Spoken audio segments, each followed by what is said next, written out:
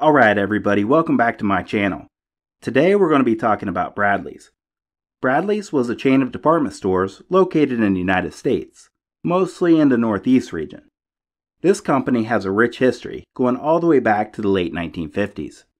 So if you're not familiar with Bradlees, well, they were mostly compared to Kmart back in the day. They sold things such as clothing, jewelry, footwear, and even electronics. In the later years, many locations would be positioned beside a chain of grocery stores. This would create a true one stop shopping experience. Several locations even had cafes, which sold things such as food, drinks, and ice cream. Bradlees would thrive throughout the 70s and 80s, but after years of declining sales and a few failed acquisitions, the 1990s proved to be very challenging. So it's been a long time since they went out of business.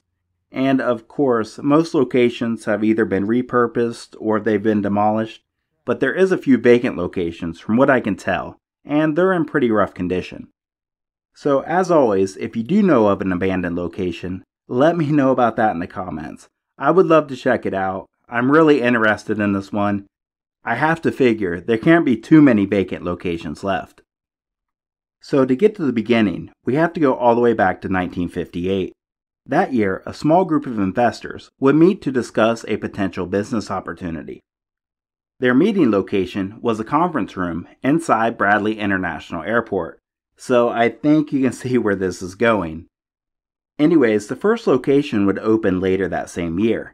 It was located in New London, Connecticut, and as you might suspect, it was named after the airport, Bradlees.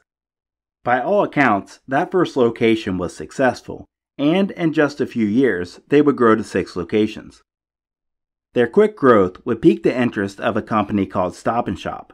Stop and Shop was a well established company dating all the way back to 1914. However, their main focus wasn't retail, their focus was operating grocery stores, so this would be a challenge for them. Anywho, they would officially purchase Bradlees in 1961, and they had big plans for the company. Right away, they would start opening up new Bradlees locations. Oftentimes, these new locations would be positioned beside existing Stop and Shop stores. This was all done as a convenience for the customer. Basically, people could shop at Bradlees, then walk next door and pick up groceries. This created a true one stop shopping experience. Throughout the years, this would just become standard for many retailers. I mean, this is pretty similar to a Walmart shopping center nowadays, but I mean, at that time, it was pretty revolutionary. And if you've seen any of my other videos, this is the same strategy that Big Bear and Harts used. Anyways, their growth would be steady throughout the 60s, and by 1968, there were 52 Bradlees locations. They were bringing in almost $140 million in sales. The company would explode in both growth and popularity throughout the 1970s. Many locations would add snack shops, selling things such as hot dogs, drinks, ice cream, and fries. All of these things would prove to be successful, as by 1974 they were bringing in over $600 million in sales. Bradlees would continue to grow into the 1980s. A large part of their growth strategy was to purchase smaller department stores and convert them into their own. This was nothing new, as several other retailers were doing the same strategy, other companies such as Ames and Kmart. At any rate, whatever they were doing was paying off, as Bradlees accounted for nearly 70% of the parent company's overall sales, with the other 30% being Stop and Shop. The company was growing at a pretty steady pace around this time, However, they would start to close their southern stores and focus on the ones in the Northeast United States. In 1984, they had 128 locations. In 1986, they had 158. So, anyway, things are looking really good for them at this point. They are very much profitable and they're growing at a pretty good rate. However, the first sign of trouble would come in 1988. That year, there was a hostile takeover attempt by a company called the Dart Group. Stop and Shop would have to act quickly if they didn't want to lose control of Bradlees. So basically, they would start to buy back the company's stock, or that's better known as a leveraged buyout. That deal would be approved just a year later, and with that, the company would once again go private. So this created a few issues. First off, they didn't have any public money available to help grow the company. On top of that, Stop and Shop went in debt to make this deal happen. They had to borrow nearly $1 billion. So, for the first time in years, Bradlees was operating in the red. So, all this brings us up into the 1990s.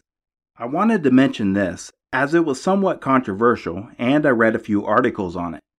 Up until the early 90s, some Bradlees locations would require cashiers to ask for the customer's race, gender, and age when writing a check. As far as I can tell, this policy varied by location. It was said this information was used to help identify a customer if they had written a bad check. I mean, this would make sense, but the customer's name and address is already on the check.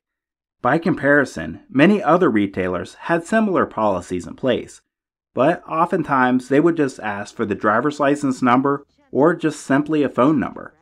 So, yeah, some customers found this policy offensive, and I can understand why. Anyways, back to the retail side of things. In 1993, they attempted to increase profits by changing up their cafe menu. They would add select menu items from popular places such as Pizza Hut, Taco Bell, and Dunkin' Donuts. In 1991, the company would go public once again. However, later that same year, Stop and Shop would sell Bradlees to a private group of investors. This would be the first time in 30 years that Stop and Shop didn't have anything to do with the company, and things wouldn't quite go as planned. In 1994, they would attempt to expand Bradlees by adding new locations in New Jersey and New York. They would only open seven locations but they would go pretty deep in debt by doing so. So by the end of 1994, they were reporting a $210 million loss annually. Things wouldn't get too much better from here. 1995 would prove to be pretty challenging, as they just continued to lose money. So by June of 1995, they announced they would be filing for Chapter 11 bankruptcy protection at this point, there were still 136 operating Bradlees locations. So by 1996, they would start closing and selling off several underperforming locations. This would drop them down to 124 remaining. Ironically, Ames would purchase and convert 14 of these stores. It's odd because Ames was pretty much in the same situation.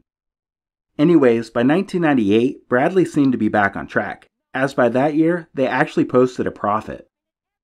They would be approved to exit their Chapter 11 in 1999, so by all accounts, things are looking good for the company. But here's the thing one of their main competitors, Caldor, would go out of business that year. This would spark a huge increase in sales for Bradlees. As well, customers had less choices to choose from, so they gave Bradlees more business. So here's where things start to take a little bit of a turn. So this has to be one of the boldest decisions I think I've ever seen a company make. Remember, at this point they were struggling. I mean, they have just exited Chapter 11 bankruptcy just a few months earlier. So they decided to purchase and convert several of the old Caldor locations in the Bradlees. Needless to say, this immediately backfired. And I do mean immediately as by the following year, Bradlees was completely out of operating money. So, with that being said, suppliers stopped getting paid, and well, they stopped shipping product to the stores. At this point, Bradlees was reporting a nearly 5% drop in same store sales from the previous year. That combined with the bad economy would just prove to be way too much for the company. So on December 26, 2000, they announced they will be filing for Chapter 7 bankruptcy protection. And with that, they started a liquidation sale. Their stock price would drop to just 28 cents a share, and they were delisted from the stock exchange. The last day of store operations was March 15, 2001. After that, all remaining 105 locations would be closed.